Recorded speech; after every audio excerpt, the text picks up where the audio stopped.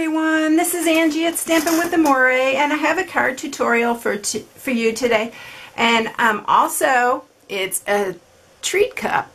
So I'm using Stampin' Up! Sweet Treat Cups for this card and I made a Mother's Day card um, out of this but being Easter is coming up I thought this would make a cute little Easter bonnet um, also.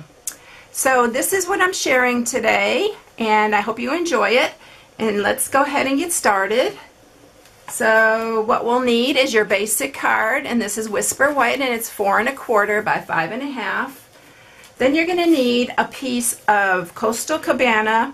The other one I made was Melon Mambo, but I'm going to change it up a little bit and use the Coastal Cabana and this is 4 by 5 and then a piece of designer series paper which is also 4 by 5 and this is just to back this because I like that it's more sturdy when I back it.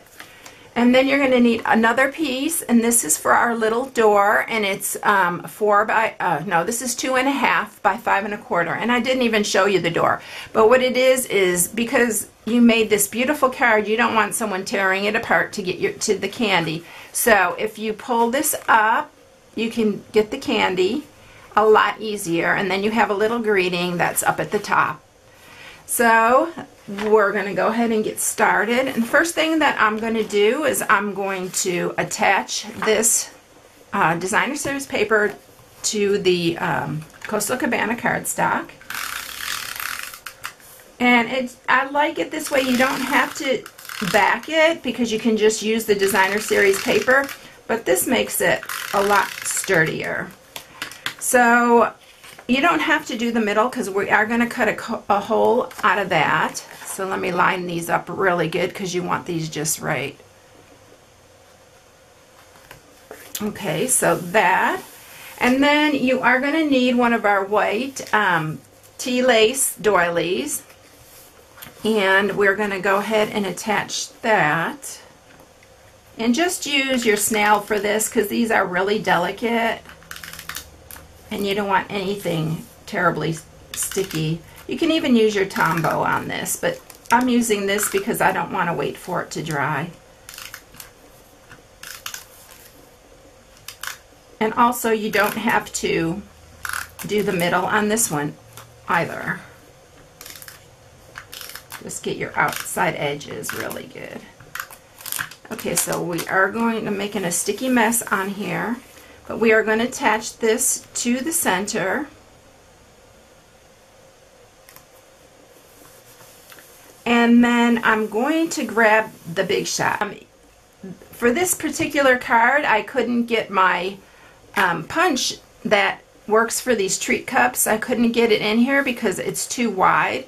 So I am using the circle framelits and on the circle framelits, which are these, I'm using the fourth one from the center. And that fits it. It's a little bit big, but it fits it pretty well. And it stays in place. So let me grab the big shot really quick. And what I'm going to do is just cut the center out first. So we'll just put that on here center that right in the middle of the doily and then we're going to run this through.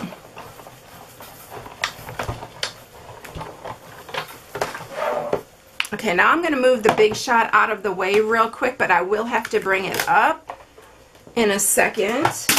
Whoops. There goes my plate. Okay, so that cut the center. Now we want to line it up where we're going to put it on here. And what I did was I just grabbed a pencil, which, where did it go? And I lined it where I want it. And I want a little space here to put my sentiment, so I did put it close to the top.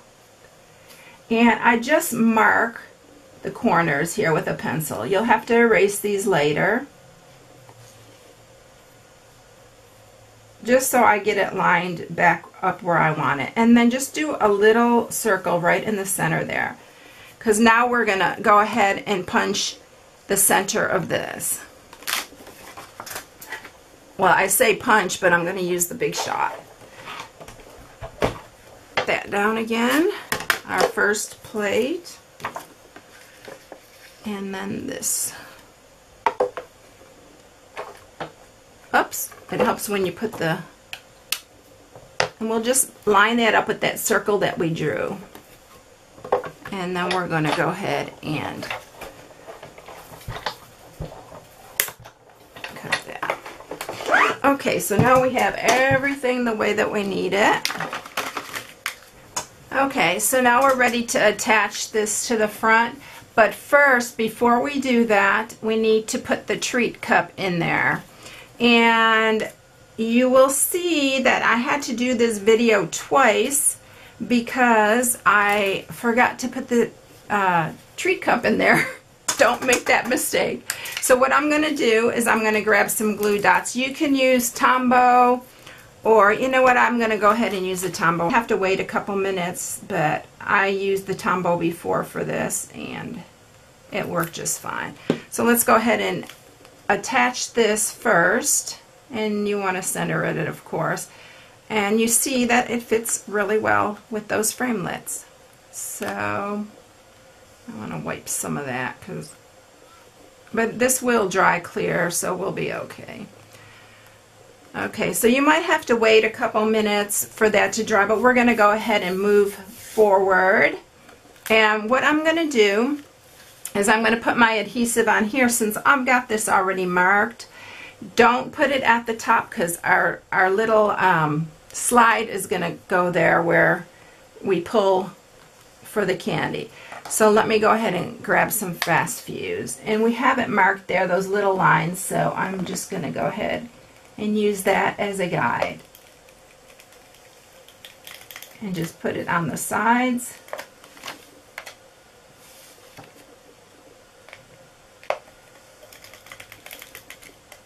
Bottom and then up this side. Okay, so let's go ahead and attach this now and line up our little pencil marks that we have up there.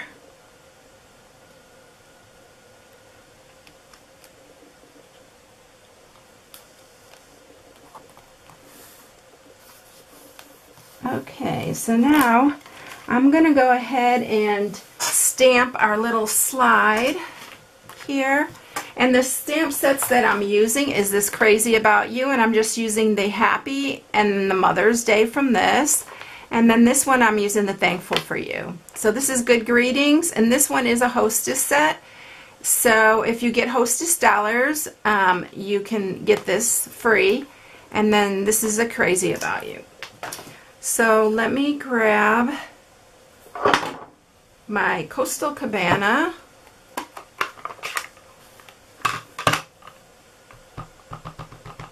And we'll stamp this. Let me scoot that out of the way so you can see here. And we're just going to do it right at the very top. Whoop. Isn't that pretty, the writing? I love the writing on this set. And then we'll go ahead and stamp the card while we're stamping. And I don't know why I have extra here. I think this card might, I may have measured it wrong. Let me check. Because it's a lot longer. I have more space. Yes, it is. I don't know how that happened. But let me go ahead and trim a little bit off of that before because this is supposed to be five and a half. So I'm going to trim that extra off because the space is five and a half by four and a quarter. Okay, so let's go ahead and stamp that. Happy Mother's Day on the bottom. That was just way too long.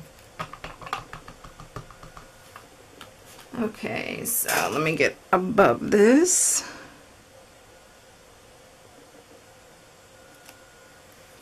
So there's the Happy Mother's Day.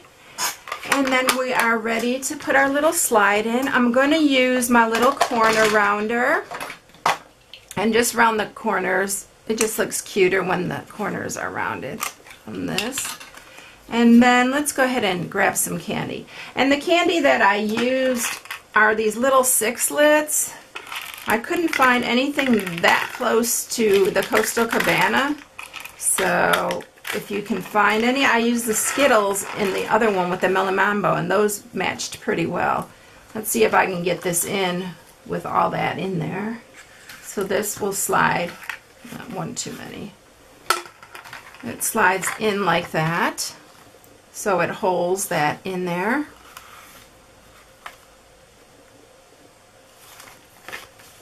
And then we're ready to decorate the little cup. And I'm using our Coastal Cabana ribbon. I think this is quarter inch ribbon. And we're just going to cut a piece to fit around the end. And I just use glue dots to attach this.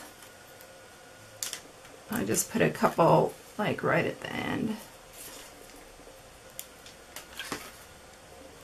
It just holds it in place here. And I just crisscrossed it to make it look like a little I like using my ribbon scissors better, but I don't see them close by, so. And these, these here, I'm going to, let me see. I don't know where my ribbon scissors went, but these don't want to cut. cut. I need to get these sharpened, actually.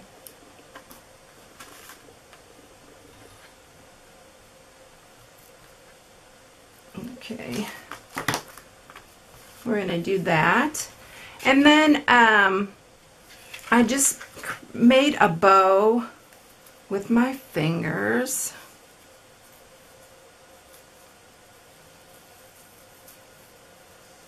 And I just played with it till I got it exactly how I wanted it and how big I wanted it. And so I'm just going to cut some here. I'm going to make it a little bit longer so I can, because I want them to be a little bit different lengths. So we're going to attach that also with glue dots and I'm going to cut this tails off here.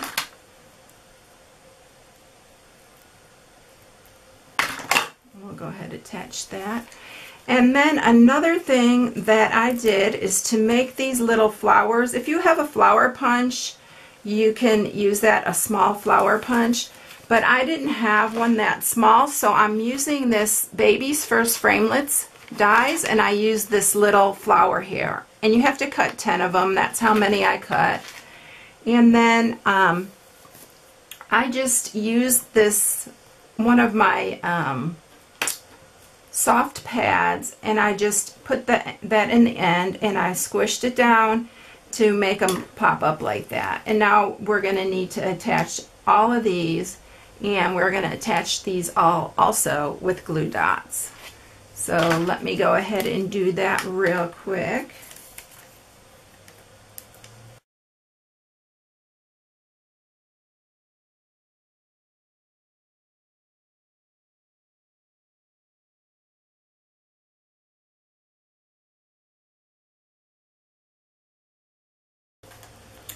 Okay, for this one, I guess I didn't need 10. I guess I could put one under here if I wanted, but you really don't have to. But I, let me go ahead and put the last one under there. I did use 10 on the last one.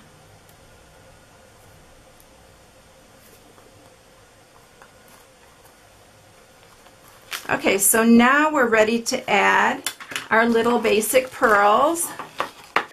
Oh, I know where the 10th one went. Sorry. The 10th one goes in the center here. I forgot about that. All right.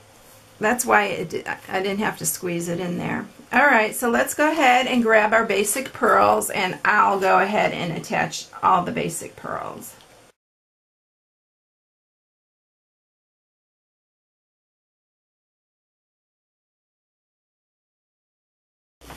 Okay, so now I have all the basic pearls. Isn't that adorable? I love the pearls make these little flowers just pop. They're so cute.